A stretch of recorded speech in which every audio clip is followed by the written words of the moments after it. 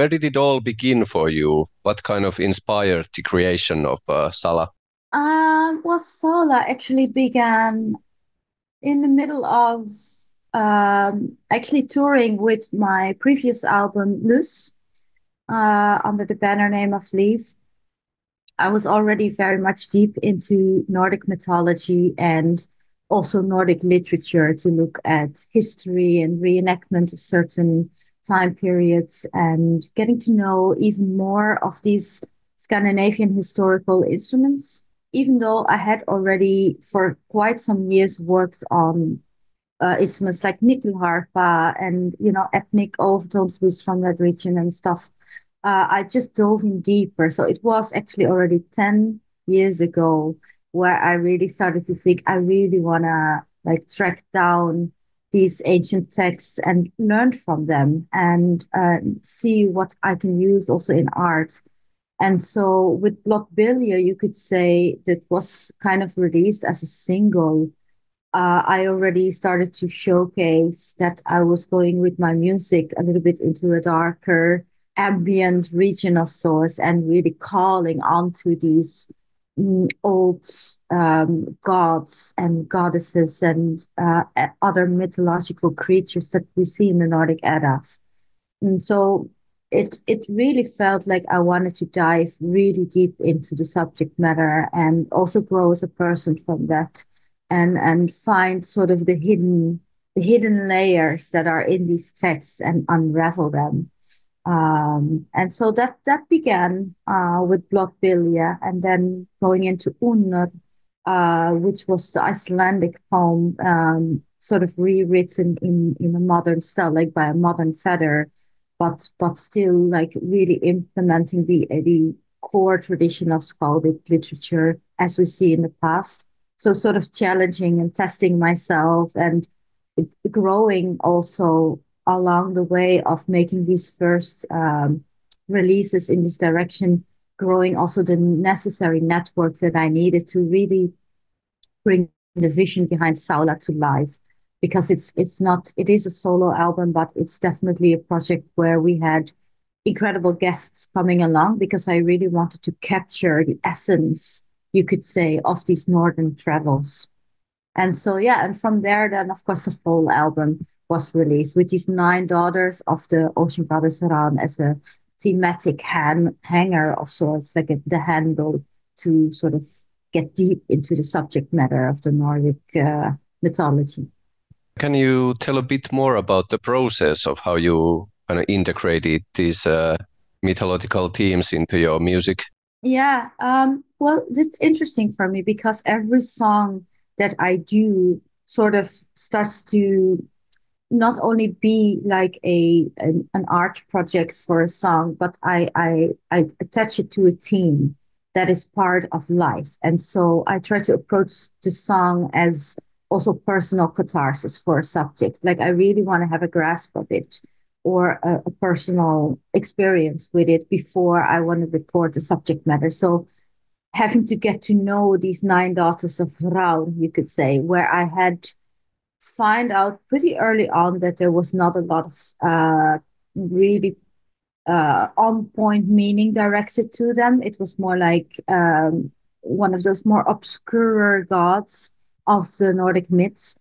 Uh, I had the creative freedom to do it myself, which means I tied those daughters in with uh, weather conditions, different states of minds, different emotions that we all have in our sort of inner landscape. So ranging from calm and beautiful weather with like a glistering sun on the sea to raging ocean and like the devourer of ships.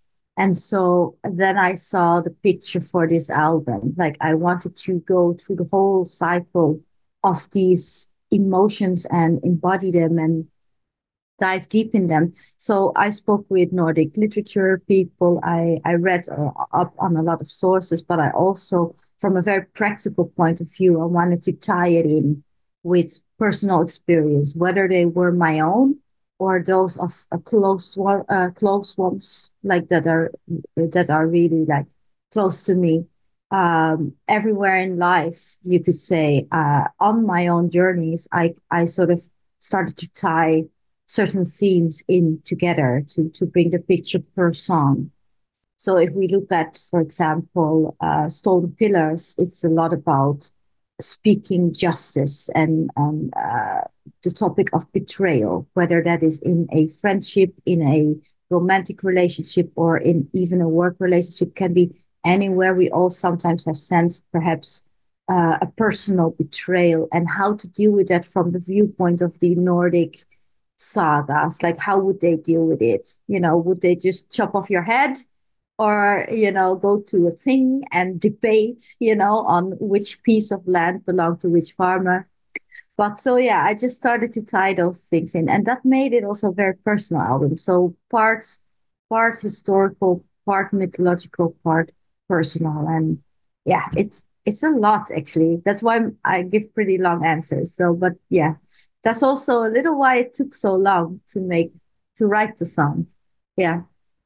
Can you talk a bit about working very with very different artists like Jaani Peuhu and Gaahl and then uh, Umbra Ensemble? Yes, and we also see that we travel through the whole northern hemisphere of sorts of uh, so we we we are when I worked for example with Umbra which is like a female ensemble from Iceland uh, they are also group singers uh, and I I really wanted to tie their voices in with the Icelandic pieces or pieces that were making very clear and direct references to historical uh, things from Iceland in particular. I, for me, like inviting people from Iceland onto the record was to to bridge and sort of make that energetic connection as well to the content material because me as an as a foreigner even though i've you know traveled and lived and been in these countries so often now uh, i'm still from the outside. And so for me inviting these collaborations onto the album practically it was to make you know grow choruses bigger to have these beautiful choir elements. But from an energetic level it was really also to make connection to the lands whether that's an instrument or a voice or a musician like Borgar Magnason who who really is like part of that sort of cult uh, niche Icelandic music scene, you know, worked with the best Sigur Björk. For me, that's like touching Iceland in itself and working with uh, Gaahl that actually has been from the start uh, part of this project and with this vision of bringing sort of these other forces in the Nordic cosmos to life through music. And of course, I, I met him already through working with Wardruna. And then when I did some guest performances with them, of course, the, the personal contact also has grown and deepened. And so I knew, and, and him similarly, we were going to do much more together with singing. We just didn't know how or in which project. And it turned out to be actually on my own record. And so having him uh, and his energy again on board of this record, really, it, it, it's a very vital element for me to have that sort of deeper uh, masculine representation of voice, but also of mythology.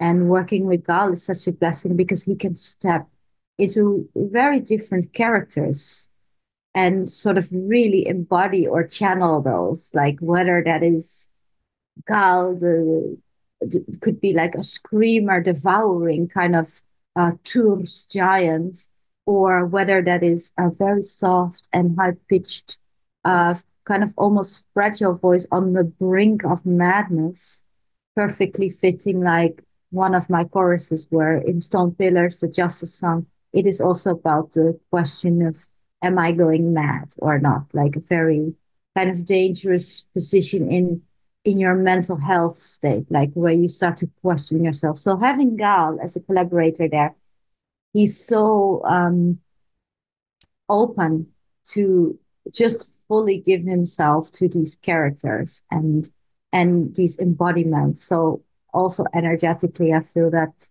was really complementing the album and and really sort of balances us out when we sing in a song together.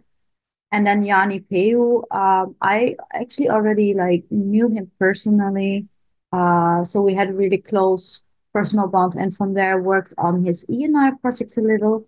And from there, we grew into having him also as my producer for this record. And being, you know, one and a half years on sort of the daily office together, like really checking in, calling three times a day about like, okay, where are we now in the track? What are we going to do next? It just created this very practical flow of being really attuned to what we were working with to create Sála.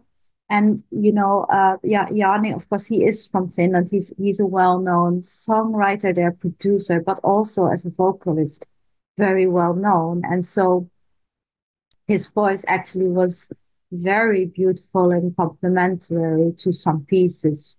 And what is a really nice story about the duet track on this album, Sála, it's the only duet like where you have this classical setup of male and female singing a a ballad of sorts and they're each in their own world contemplating on the same issue uh the moment where you know a relation is uh yeah it's meant to end uh or it's already over but you have to come to acceptance and so with him working with Jaani, it was so beautiful because he recorded demo vocals and we were looking for a beautiful male guest singer.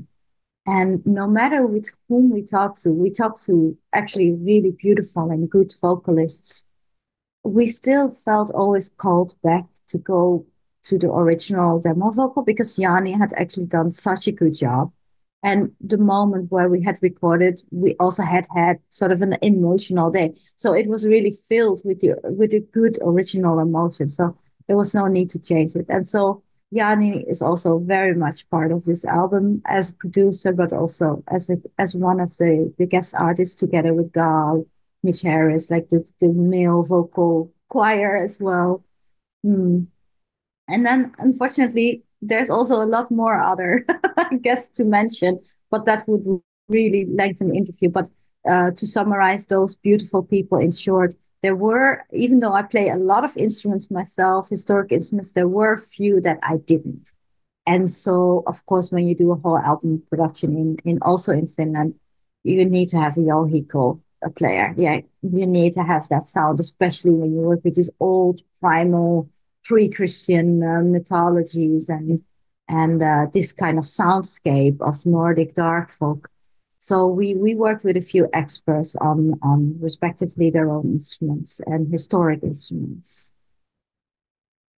Uh, if we take another song, uh, mm. the Kolga, it addresses uh, female persecution. How did you approach writing this song? Well, Kolga actually had. Uh, it's it's funny you lift that one out for the writing because it's sort of the unicorn in the album where the writing process actually hadn't started with me.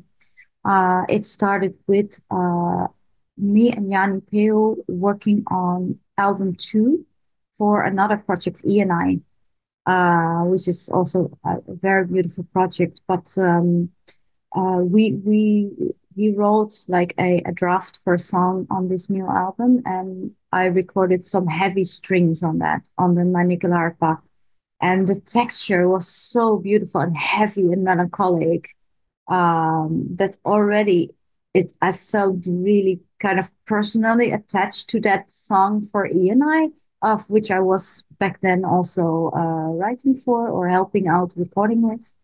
And uh, I just felt like very personal attached to it, even though it, it really stemmed like the original composition and, and arrangement stemmed from Jani Peuusvedder. Um, but it it was one of those songs that really resonated deep within me. And while we were working on Sála, it sort of became clear that uh, the original draft 16 for E and I was really would really fit very well to the album of Sála.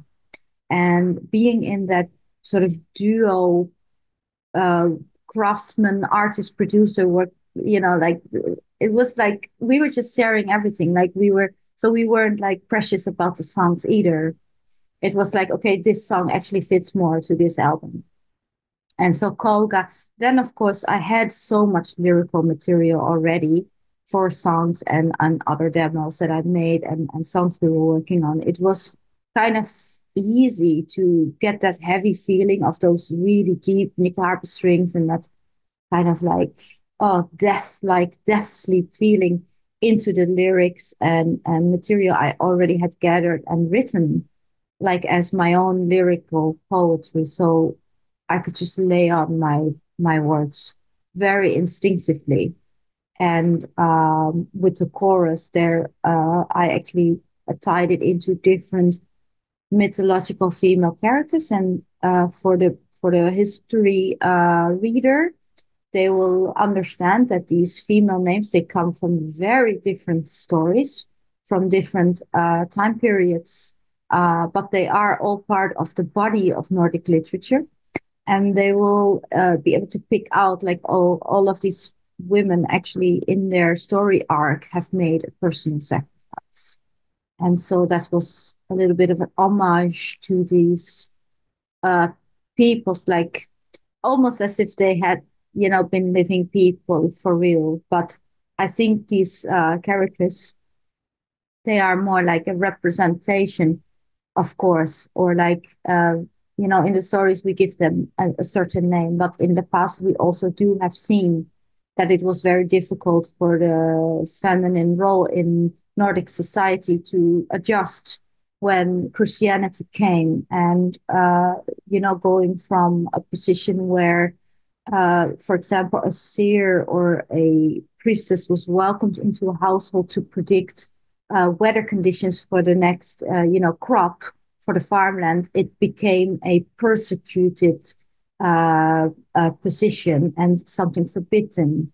So this we can know and read up not only from our um, historical mythological stories, but also actually going deep into historical lawmaking. And if you go into old historic political documents, you can actually see the change in society where at some point certain items or very feminine profession role objects were forbidden to keep in your household. Uh, you know, this could cost you your life. So we, we see that change of being like, uh, and this is something I, I put light on onto my album of the feminine role in Northern society of ancient days, but but it's also unfortunately still relevant today. I think we see still that um, in certain professions, like for example the music industry, uh, women need to work a little harder to be taken serious or have to protect themselves.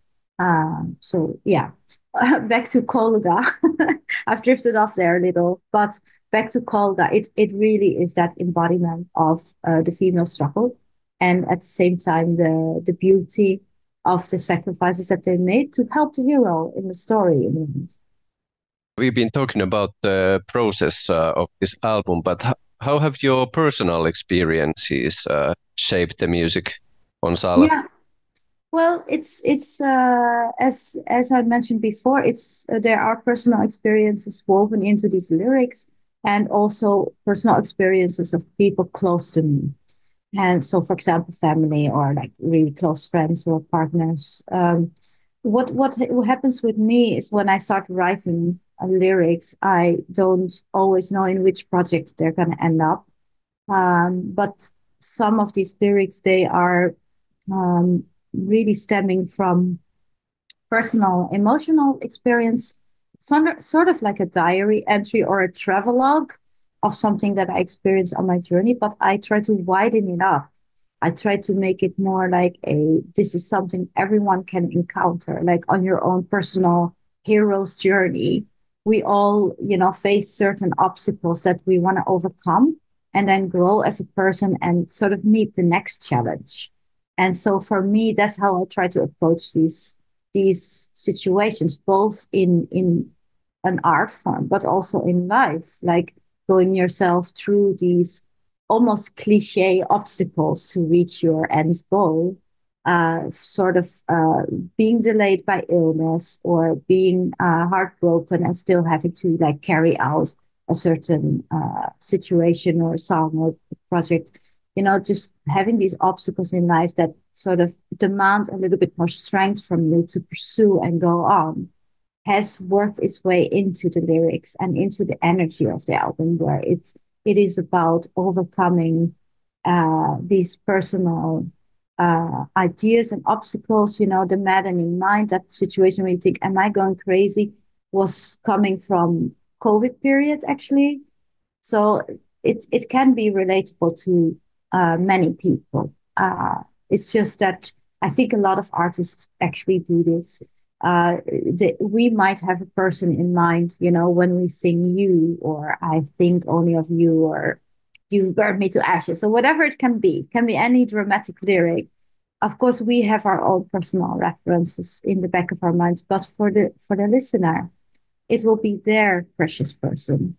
And so I hope to make it relatable to anyone who is going through obstacles and, and depression or illness or heartbreak, really things that can drag us down and, and know that you can sort of reach shore. You can reach uh, another point of view again and, and still realize you have grown as a person and something something very beautiful came out of it. So I hope at least like especially if I'm like an old little granny on my porch later, you know, when I'm old and gray and I'm gonna look back on my life, that I'm gonna say, ah, this was beautiful because there I made like a life experience into art.